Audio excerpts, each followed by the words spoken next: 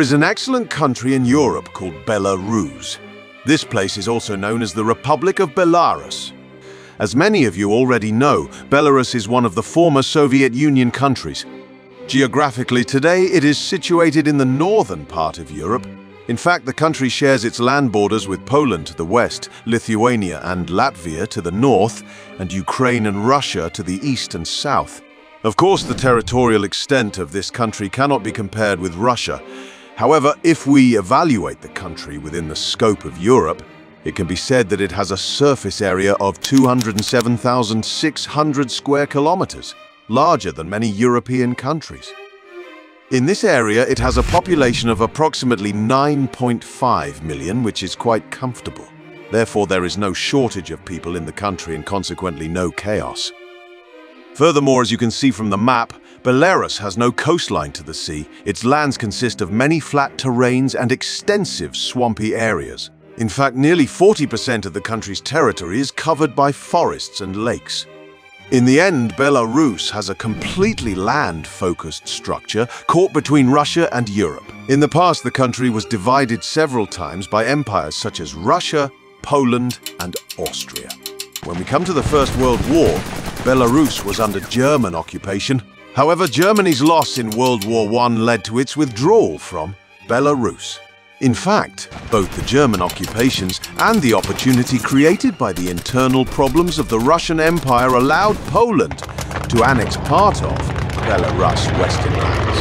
Afterwards, the country joined the Soviet Union with its existing territories. This country, like almost every Soviet Union country, took control in 1991 and declared its independence. Today, Belarus is an independent state, but remains Russia's closest ally under any circumstances and conditions. The people of Belarus are closer to Russia in terms of language and common heritage. For instance, over 80% of the population is clearly Orthodox. The numbers of Catholics and other faiths in the country are very low compared to the Orthodox. As you know in the heart of Europe, the proportion of Catholics is much higher compared to the Orthodox. Moreover, the number of Belarusians who speak Belarusian and Russian is much less compared to Russia. Therefore, in almost every aspect, Belarus is a country with a common heritage with Russia. Today, Belarus is progressing towards becoming a modern state. Belarus, like most countries, can be reached by plane. There are direct flights to the capital Minsk from various places around the world throughout the year the good news is that regardless of your passport's color, you can enter Belarus without the hassle of getting a visa. However, if you stay in the country for more than five days, you are required to register your address. According to Belarusian laws, you also need to get health insurance when entering the country. This is because if you experience any health issues during your stay, the country doesn't automatically cover these expenses. If you want to go to Belarus not just for tourism and cultural purposes, but also to work or live, then you would need to go through a bit more of a process. You'll need to make applications through the relevant embassies and consulates and be patient while waiting for them to be processed. For a long-term stay, you'll need a residence permit. Two main opportunities can help with this. The first is to marry a Belarusian citizen officially. After marriage, you can rent a house and work in Belarus. The other is to get an invitation from a registered business in Belarus where you'll be working. If you manage to secure a job there, obtaining a residence permit will be much faster and easier. However, Belarus remains a vibrant country in terms of its entertainment culture. Yet there's one issue to note the climate.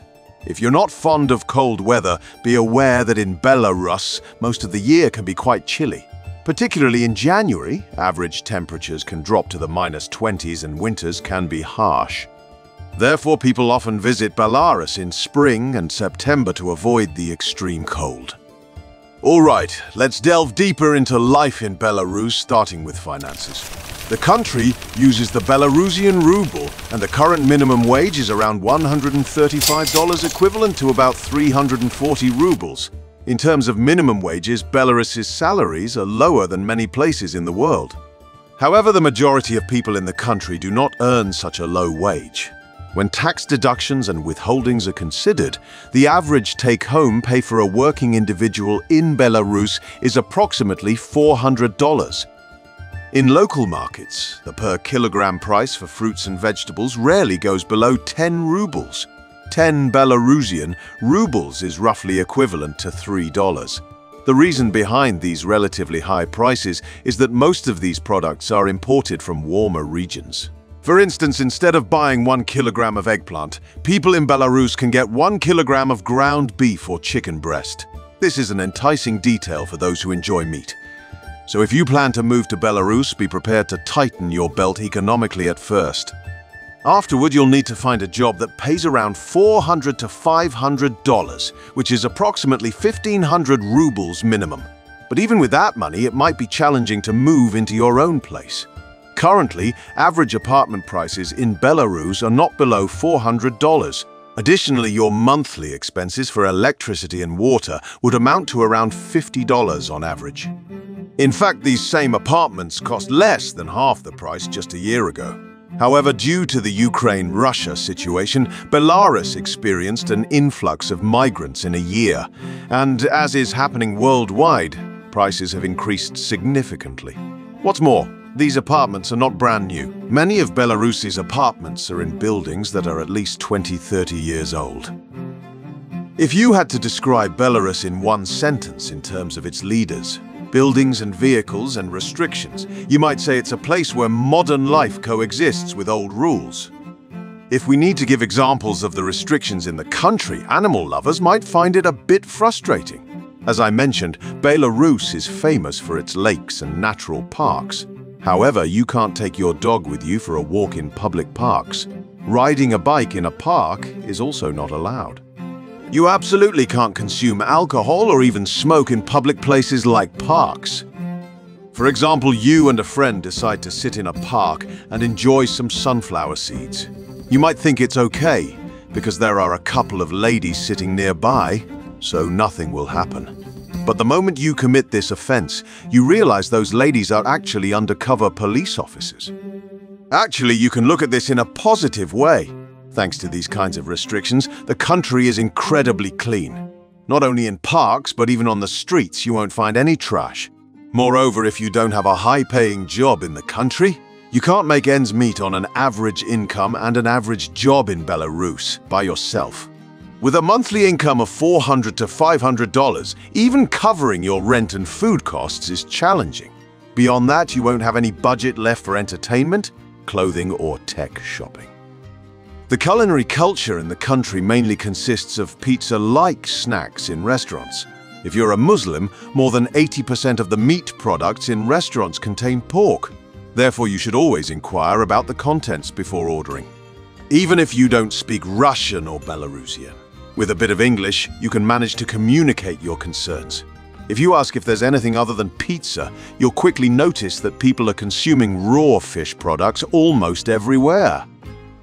So anyone wanting to live in Belarus cannot escape from dishes like sushi, which involve raw fish.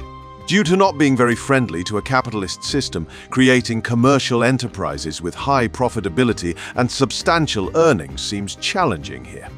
Even if you adapt to the local cuisine after a while, in Belarus, you can hardly find a regular meal for less than $10 at an ordinary restaurant. Plus, if you order a soup, they take about 30 minutes to serve it.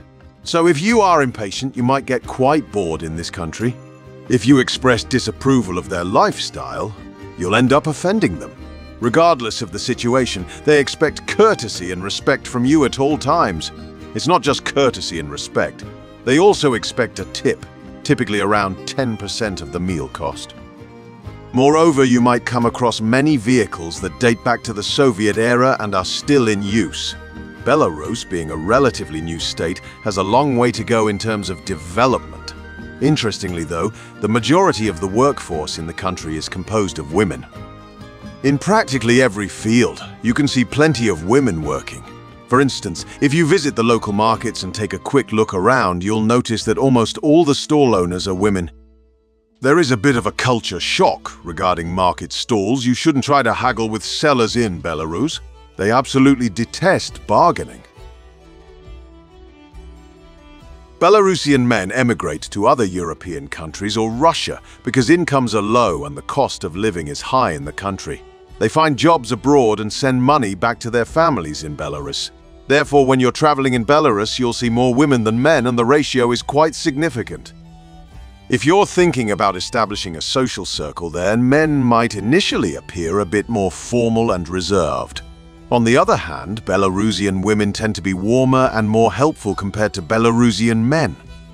Perhaps one of the best things about the country is that there's no racism against foreign citizens. Belarusian women, in particular, are quite positive about meeting new people. Foreign men also find Belarusian women quite attractive. In summary, while Belarus is undoubtedly clean in terms of nature and its people are generally well-groomed, the high cost of living and strict rules didn't particularly appeal to me. However, I still recommend going there at least once due to the advantage of being able to visit a European country without a visa. Don't forget to like the video and subscribe to the channel. Goodbye.